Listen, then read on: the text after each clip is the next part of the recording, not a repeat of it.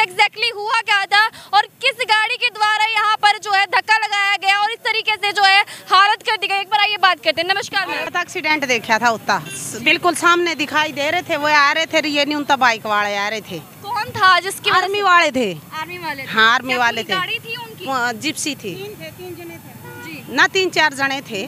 तीन हाँ। चार जने थे हाँ। जब चोट मारी गई क्या वो कुछ देर के लिए रुके? रुके थे थोड़ी देर देखा था कान का फ़ोन फान लगा के फिर निकल गए। और चोट कितनी आई है? चून पूरी हड्डी टूट गई पाँव की। साफ़ नज़र साफ़ बिल्कुल अलग से निकल रही इतनी। आपने भी देखा था ना? क्या देखा आपने हम साथ में तीन तीन थे आर्मी वाले यहाँ पे रोकी उन्होंने दो मिनट या तीन मिनट रोकी होगी उन्होंने गाड़ी। और फिर उन्होंने तो हाथ भी नहीं लगाया और किसी ने उठा उठा के यहाँ पे रखा है।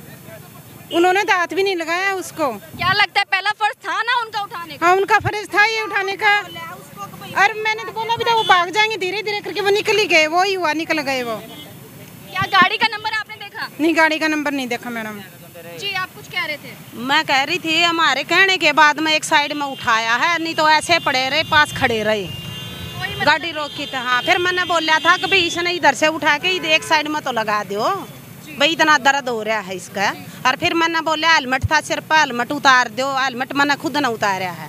लगभग कितनी उम्र होगी उस व्यक्ति की जिसको चोट लगी है? सत्तर का करीब है। हम्म, साठ पैंसठ सत्तर इतना ही का करीब है। बताया जा रहा है साठ से पैंसठ की उम्र है उस व्यक्ति की और खून के एक बार निशान दिखा दीजिए कितना खून यहाँ पर बह चुका है। लेकिन हाँ सच में जो है ना उनकी हिम्मत को दाद देना कि वो व्यक्ति उसके बावजूद भी वहाँ पर तसल्ली से लेटे रहे और वेट करते रहे कि क्या पता कोई मुझे आकर उठाए और किसी तरह की एंबुलेंस की सेवा मुझे मिल जाए। जी हाँ उनके कॉल करने के ठीक पाँच मिनट बाद एंबुलेंस तो पहुँच जाती है, लेकिन इसके बाद पता नहीं कि अभी कौन से हॉस्पिटल में उन्हें ले जाया गया एक्सीडेंट जो है बहुत गंदा हुआ एक बार बता देती हूँ कि आखिरकार एक्सीडेंट हुआ क्या है ये है 16-17 सेक्टर का पुल जैसे ही आप 16-17 सेक्टर का पुल क्रॉस करके नीचे आएँगे पुल के बिल्कुल साथ में जो है यहाँ पर आप देखेंगे कोर्ट का रास्ता भी आपको नज़र आता होगा या ये कहा जाए राजगढ़ वाला जो रोड है सिरसा वाला जो रोड है बालसमंद वाला जो रोड है उसी रोड पर ये हादसा हुआ है और लगातार सभी लोग इकट्ठे होते हुए नज़र आ रहे हैं जो अ, ल- अगर मैं बात करूँ तो कि हादसा जो देखा गया है दो महिलाओं के द्वारा देखा गया और बताया जा रहा है कि फौजियों की गाड़ी थी जिन्होंने टक्कर मार दी टक्कर मारने के बाद दो मिनट के लिए रुके तो सही लेकिन कॉल करके वहाँ से निकल गए किसी तरह का कोई सहयोग नहीं दिया गया जी आर्मी का सूबेदार था।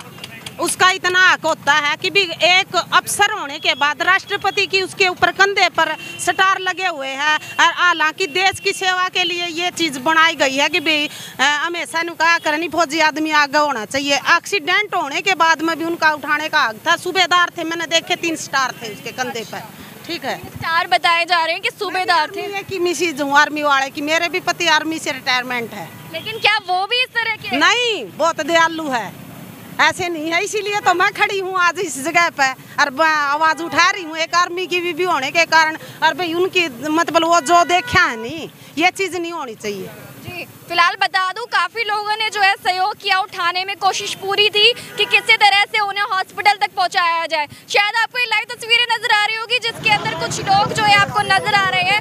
एंबुलेंस के अंदर उस व्यक्ति को बिठाते हुए। उम्र बताई जा रही है कि साठ से पैंसठ की उम्र इस व्यक्ति की होगी, लेकिन हालत बहुत ज़्यादा खराब हो चुकी है। पैर की हड्डी टूट कर बाहर आ गई है। जी हाँ जो सफ़ेद कलर की हड्डी नज़र आती है, वो सामने बिल्कुल साफ़ नज़र आ रही है पैर पूरी तरह से टूट चुके हैं खून से लथपथ है और मांस पूरी तरीके से बाहर आ चुका है। शायद लाइव तस्वीरों में आपको नज़र आ रहा हो। थोड़ा ब्लर है कुछ गाइडलाइंस की वजह से, लेकिन देख लीजिए, यहाँ पर जो है हालत बहुत ज़्यादा खराब है। आपको शायद लाइव तस्वीरों में नज़र भी आ रहा होगा। ये ये उनकी बाइक का थोड़ा सा पार्ट आपको नज़र आ रहा होगा, जो यहाँ पर जो एक्सीडेंट होने के बाद गिरता हुआ नज़र आया। खून यहाँ पर भी है। जी हाँ रास्ते के बीचों बीच भी आपको खून नज़र आ रहा होगा। इसके साथ साथ उनको फटाफट से उठा के कोने में साइड में उनको लेटाया जाता है तो साइड में लेटाने के बाद भी खून के कुछ हिस्से यहाँ पर यहाँ कहा जाए मास के कुछ हिस्से यहाँ पर पड़े हुए नज़र आते हैं। बने रहिए अच्छा ट्वेंटी न्यूज़ के साथ। लाइव तस्वीरें आपको लगातार देती रहूँगी, लेकिन ऐसी घटना हो चुकी है जो आपके दिल को भी दहला देगी।